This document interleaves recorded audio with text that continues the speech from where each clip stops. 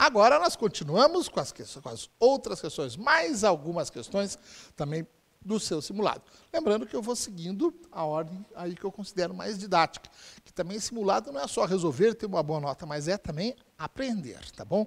Esse é o nosso objetivo. Então vamos lá comigo, mais algumas questões.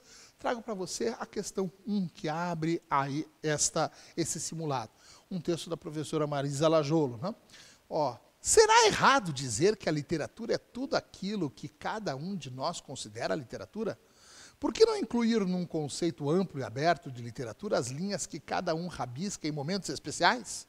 Ou aquele conto que alguém escreveu e está guardando na gaveta? Por que excluir da literatura o poema que seu amigo fez para a namorada, só mostrou para ela e para mais ninguém? Por que negar o nome de literatura aos poemas mimeografados que o jovem autor vende para a plateia depois do espetáculo na feira hippie de domingo? Esses textos não têm a mesma cidadania literária que o romance famoso, com crítica no jornal e comentado na escola? Então veja que é um texto provocativo, uma série de perguntas instigantes, né, para chamar a atenção à discussão sobre o que é literatura, tá bom? Então, veja o que a questão nos traz. Ó, a polêmica que sempre permeou e ainda permeia os estudos da literatura é como definir o fato literário. O que é um fato digno de se tornar literatura? Assim, a partir da leitura do texto de Marisa Lajolo, infere-se que um dos princípios da literatura é ser esta o quê? Bom, então infere-se então, na verdade, quando você fala sobre uma inferência, qual é a dedução que nós podemos fazer aqui no texto da, da, Marisa Lajolo? O que vem a ser literatura? Tá bom? Então é fundamental entendermos aqui, ó. Então, a ser esta, a literatura, dono de conceitos, dona de conceitos estanques. Pode parar por aqui. Veja, conceitos estanques são aqueles conceitos que são assim independentes, bloqueados, já categóricos, assim imutáveis. Não. Aqui, na verdade, com esse texto, ela, nós podemos inferir que ela está trazendo o quê? Exatamente, vamos abrir um pouquinho mais o conceito do que pode ser literatura. Então, a letra A está falsa. B, uma forma artística que representa a realidade, tem um material expressivo o uso da linguagem verbal.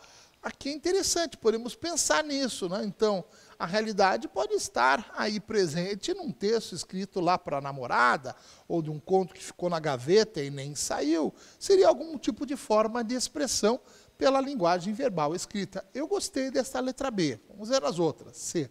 Uma forma de expressão que expõe a visão do autor sem se preocupar em estabelecer um diálogo estético com a realidade, não. Ela citou textos que têm algum tipo de vínculo da realidade.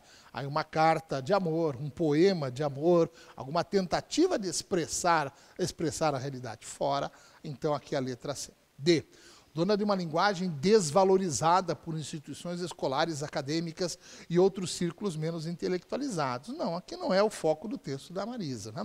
Responsável por despertar o relaxamento e o prazer ao levar o leitor a não pensar em mais nada, perceber que pode apenas ler sem que seja necessário fazer reflexões ou análises. Isso aqui é um absurdo. A literatura nos leva à reflexão. Tá bom? Então, a resposta do exercício, de fato, vem a ser a letra B. Então, questão 1, a resposta vem a ser a letra B, ok? Bom, vamos adiante. Olha agora a questão de número 2, que eu trago agora também aí para você ver, tá bom? Então, no seu material, acompanha lá. Leia o texto de Vinícius de Moraes, que durante seu momento de criação busca, nas possibilidades da língua, compor o seu texto. Esse universo, esse enunciado está um pouco truncado, mas dá para seguir na leitura do texto de Vinícius de Moraes, aí grande poeta brasileiro, um dos nossos grandes poetas surgidos lá nos anos 30, né, ao lado de Cecília Meirelles, aí também o grande Drummond. Bom, o aprendiz de poesia. Uma noite, eu tinha 17 anos, Otávio de Faria, que era outro também poeta, e eu fomos tocando a pé da Galeria Cruzeiro até a Gávea, ali no Rio de Janeiro, onde ficava a minha casa, na rua Lopes Quintas. Né? Bom, lembro-me que à meia-noite brilhava uma lua como nunca vi mais cheia. A cabeleira solta, os seios nus, o olhar de louca me varar o peito de súplicas. Veja que o texto ficou mais quente, ele está se referindo aqui à lua, mas de uma forma diferente, né? de uma forma mais conotativa. Né? Deixei Otávio de Faria no seu bonde de volta e subi a Lopes Quintas, rumo à casa. O sossego era perfeito, total o sono do mundo. Só às vezes, subitamente, dos espaços descia um braço de vento é, que varria as folhas secas da rua e empinava papéis velhos.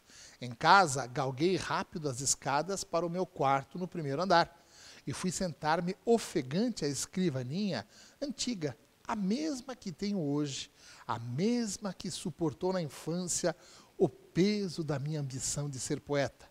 A janela estava aberta e em sua moldura a lua viera se postar, os olhos cravados em mim. Bom, aí continua o texto dizendo assim, ó, não sei como foi, mas sei que foi diferente de tudo o que sentia antes. Meus ouvidos, como conchas, pareciam recolher os ruídos mais longínquos do mar que estilhaçava em mim. Meu ser volatizou-se, ficou mais leve, agora para a lua, transformado ele próprio em substância. Aí, Lunar, faltou até o acento ali, né? E comecei a escrever como nunca antes, liberto de métrica e rima, algo que era eu, mas que era também diferente de mim algo que eu tinha e de que não participava, como um fogo fato, aqueles, aquelas combustões instantâneas, assim, espontâneas, que se dão na natureza, né? a crepitar da minha carne em agonia. Linha por linha, como psicografado, o poema, o meu primeiro poema, começou a brotar de mim. Tá bom? Então, um depoimento, a gente agora falando de como mais ou menos foi surgindo a sua carreira como poeta. Um texto em prosa. Né? Olha só, a palavra é matéria-prima da arte literária, afinal, é o modo como o autor usa a linguagem que se constrói a estética, que conduz seu leitor a outro universo, promove reflexões, enfim, encanta e desencanta. No fragmento anterior, há palavras que abandonam o seu sentido literal, como se pode constatar em. Então, são palavras usadas no seu sentido figurado. O que você acha? Eu tinha 17 anos. Linguagem denotativa, ele tinha 17. 17 é 17 mesmo, né? Nada de um sentido figurado. Né? Então, manteve aqui o sentido literal. B. Não sei como foi, mas sei que foi diferente de tudo que sentia antes. Também você está aqui no sentido literal. Não se abandonou o sentido literal, o sentido denotativo. C. Otávio de Faria e eu fomos tocando a pé da Galeria Cruzeiro Gávea. Novamente, aqui algo bem factual, né, contando o que eles fizeram. Fui sentar-me ofegante Veja, isso é próprio, está cansado. A escrivaninha antiga, a mesma que tem hoje. Não pode ser, só pode ser a letra E, né? Ou erramos a questão. Mas acho que é a letra E mesmo. Olha lá. Brilhava uma lua como nunca havia mais cheia. A cabeleira solta, os seios nus. Veja a lua com cabeleira, talvez seriam até algumas nuvens os seios nus. Então, a personificação da, da lua. Então, aqui é uma linguagem mais figurada. Então, se abandonou o sentido literal e se buscou o sentido figurado. Então, a resposta do exercício vem a ser a letra E. Então, essa foi a sua questão de número 2. Valeu? Vamos seguir adiante? Olha a questão de número 10 que eu trago para vocês. Então, aparece um texto, agora um texto teatral, Vestido de Noiva, uma das peças mais importantes da dramaturgia brasileira, foi encenada pela primeira vez em 1943. Então, o texto que se dá aí entre diálogos. Né? A gente agora fala dos personagens. E olhe só como você pode perceber, há vários textos que estão aqui, fragmentos que estão entre parênteses, e até coloquei aqui em itálico. Esses textos que estão em parênteses itálicos são as rubricas. Isto, esse texto não é para ser encenado, mas é dar uma indicação de como se deve ser a fala da personagem, a montagem, por exemplo, do cenário, como é que devem ser as reações. São dicas que o autor dá, a de repente, ao diretor da peça, aos atores que farão os papéis, os papéis dos devidos personagens. Né? Então, olha só, a Laide vai falar aqui, ó. Quero falar com Madame Clessy. Ela está. Fala a primeira mulher que uma das três mesas faz paciência. A mulher não responde. A Laide, com certa angústia. Madame Clessy está, pode me dizer? A Laide, com não responde com doçura. Não quer responder? Então continua todo esse texto, gente.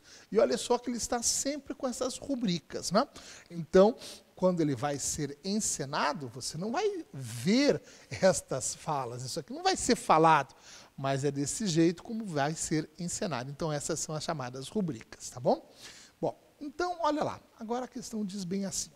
Escrita e encenada em 1943, Vestido de Noiva revolucionou o gênero dramático do ponto de vista estético e estrutural, pois sua lógica conduz o público a um estado de perplexidade jamais visto até aquele momento. Né?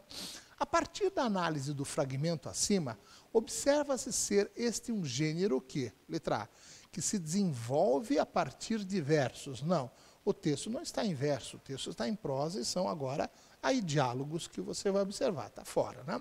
B, em que eh, são escritos para serem ouvidos. Não, na verdade, são textos, textos são escritos para serem vistos também, né? agora dentro de um palco. Então, um texto é feito para ser encenado, tá bom? C, que pode ser classificado em lírico e cômico. Não, é um texto dramático, como já vimos. Aí, gênero dramático, teatro é a literatura que sobe ao palco para colocar a vida em cenas. Letra D, que elimina a mediação entre leitor e texto. Interessante, porque agora um texto que é dramático, não existe a figura do narrador, o sujeito que conta a história. A história surge da boca dos próprios personagens através dos diálogos estabelecidos. Pode ser a letra D. Fizemos a letra E, que necessita de um narrador. Não. No teatro não existe alguém com a função de contar uma história. A história surge normalmente da boca dos próprios personagens. Por isso que a resposta do exercício vem a ser a letra D. Tá bom? Então, esta foi a sua questão de número 10. Ok? Adiante, vamos lá. Vamos ver a questão de número 7. A questão de número 7 traz um lindo poema, famoso, do Carlos Drummond de Andrade, o nosso poeta mais importante da literatura brasileira e normalmente de presença constante nas provas do Enem. Drummond já caiu até em questões de, matemática, em questões até mesmo da, da história, também da sociologia, em textos que foram reproduzidos na sua prova. Não? Então, grande poeta, o grande poeta da literatura brasileira. Tá bom? Então, olha só, infância. Então, um texto de certo traço autobiográfico, isto é, o eu lírico traz muito do próprio Drummond. Meu pai montava a cavalo, ia para o campo. Minha mãe ficava sentada cozendo. Cuidado no detalhe, gente. Cozer com Z é cozinhar. Cozendo com S é costurar. Então minha mãe ficava sentada costurando. Meu irmão pequeno dormia. Eu sozinho, menino, entre mangueiras, né? li a história de Robinson Crusoe, a obra fundamental do Daniel Defoe, né? Cumprida a história que não acaba mais no meio-dia branco, aí você muita coisa fazer, de luz uma voz que aprendeu a ninar nos longes da senzala e nunca se esqueceu, chamava para o café. Café preto, que nem a preta velha, café gostoso, café bom. Minha mãe ficava sentada cozendo, olhando para mim. Psiu, acorde menino. Para o berço onde pousou o mosquito e dava um suspiro. Que fundo. Lá longe, meu pai campeava no mato sem fim da fazenda. E eu não sabia que minha história era mais bonita que a de Robinson Crusoe, de sua família, né, do náufrago Robinson Crusoe. Então, um texto bem memorialista. Valeu? Bom, olha lá. Para interpretar um texto, especialmente os do gênero, de gênero literário, o momento de sua produção deve ser levado em conta, pois a literatura situa aspectos do contexto. A poesia lida de Carlos Drummond de Andrade mostra que, então, um texto que fala sobre a infância, aí agora, do autor. Então, repito, aqui a gente sabe que autor e eu lírico são coisas diferentes. Não, o autor é o criador, eu lírico é a criatura. Só que, às vezes, esses elementos podem se misturar, o que aconteceu neste texto, sim. Né? Ó, então, a poesia lida de Drummond mostra que, letra A, o poeta rememora a sua infância, marcada pelo uso do tempo presente, não, veja que no, nos verbos que aparecem, são verbos até no pretérito imperfeito, meu pai fazia, minha mãe fazia. Então, há uma prevalência dos verbos no tempo passado. Falsa letra A. Bom, letra D, é, B. A infância do poeta caracterizou-se pela diversidade de acontecimentos. Não. Veja quando ele fala, eu fazia isso, eu fazia aquilo, então era uma ação que se repetia no passado. Então o uso do pretérito imperfeito, indicativo, mostra ações que são ah, ações que são recorrentes no passado. Então, por exemplo, uma vida no campo não proporcionava talvez uma grande diversidade. Por mais que até ela viesse até ocorrer no texto, você não observa. Então, uma vida até ele, ele retrata muito a rotina. Meu pai que saía todo dia para campear, minha mãe que ficava costurando e cuidando das crianças. Né? Bom, o menino se reconhecia em Robinson Crusoe, pois ambos tinham uma vida agitada. Não, ele chegava, ia, mas não há informações que dizem aí para isso. Aliás, até no Robinson Crusoe é uma história muito mais empolgante, de alguém que se perde, fica lá no outro, uma outra ilha, em outro lugar, eram náufragos. Né? D. O menino fugia da monotonia da solidão ao embarcar nas histórias de Robinson Crusoe. Daí sim, né? História comprida, que não acaba mais, tanta coisa. Então, aquela coisa de você se identificar com a literatura, e literatura uma forma de passar o tempo. Pode ser a letra D. Letra E. A quebra da ordenação dos tempos verbais e passado para o presente leva o menino, eh, agora o menino da agitação cotidiana para a monotonia das histórias de Robinson Crusoe. Não, exatamente o contrário. A monotonia do seu, da sua vida aí era quebrada com aquelas histórias de aventura lá atrás. Né? Bom, então está falsa. A resposta do exercício efetivamente vem a ser a letra D. Então, esta foi a questão de número 7. Valeu? Bom, vamos ver agora a questão de número 9 que aparece para vocês, que nos traz o seguinte. Olha só. Leia um fragmento do poema épico Caramuru, em que o eu do texto ocupa um posicionamento de observador. Caramuru, do Santa Rita Durão, uma obra, uma epopeia, gente lá do século XVIII, num período que nós chamamos de arcadismo ou neoclassicismo. Tá bom? Olha só, canto primeiro, de um varão em mil casos agitado, um homem, né? Que as praias discorrendo do ocidente descobriu o recôncavo afamado, recôncavo baiano, da capital brasílica potente, do filho do trovão denominado, que o peito do mar sob a fera gente, o valor cantarei na diversa sorte, pois só conheço herói que quem nela é forte. Né? Então o texto agora, Santa Rita Durão, falando do Diogo Álvares Corrêa, lembrando bastante os Lusíadas lá de Camões. Né? Bom, Santa Rita Durão homenageia, através da sua narrativa, o grande feito de Diogo Álvares Correia, aí o Caramulo, o descobrimento da Bahia. Poema épico, uma epopeia, que garante seu gênero por ser um texto que ressalta a figura de um herói, Santa Rita Durão. Não, Santa Rita Durão é o autor, não, não é o destaque do autor. Bom, estrutura-se com verbos e pronomes na primeira pessoa. Não, é mais na terceira pessoa, de modo geral. Falso, né? Letra C, canta os feitos, destacando a grandeza dos homens, está certo? Sobretudo as grandezas lá do Diogo Álvares Correia. Letra D, pressupõe a presença de um leitor amante das guerras. Ele não pressupõe, ele só traz isso. Né? Bom, letra E, apresenta um narrador, o qual conta a história em prosa. Ele conta a história em verso. Lembrando que é uma epopeia, a epopeia nos traz uma narrativa colocada em verso. Então a resposta do exercício vem a ser aqui a letra C, tá bom? Então essas foram as mais questões aí que nós fizemos. Agora, então, na primeira parte, as três questões fundamentais e agora mais cinco questões fundamentais também que você tem agora do seu simulado ENEM. Valeu, gente? É isso. Até a próxima. Tchau, gente.